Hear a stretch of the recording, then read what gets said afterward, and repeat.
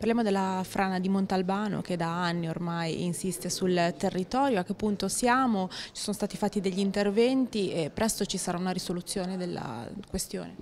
Sì, diciamo che con questo progetto finanziato con i finanziamenti mm, Porfeser eh, noi abbiamo scelto di eh, utilizzare i soldi per il rischio idrogeologico e per andare a intervenire nella parte della frana che ancora eh, insiste, e cioè via Marconi, mentre via Montalbano eh, credo che l'asfaltatura eh, ancorché grezza sia stata fatta in questi giorni, in primavera ci sarà l'asfaltatura completa, quindi la strada è completamente transitabile, via Marconi invece insiste ancora la frana e lì c'è il progetto di una galleria, un, un percorso eh, a galleria, una sorta di paramassi che possa permettere la riapertura della strada. Io spero che insomma, il progetto c'è, il finanziamento dovrebbe arrivare nelle prossime settimane, nei prossimi mesi da parte della Regione e, e quindi i lavori potrà, speriamo che possano iniziare per l'estate e restituire anche eh, quel transito a quei cittadini.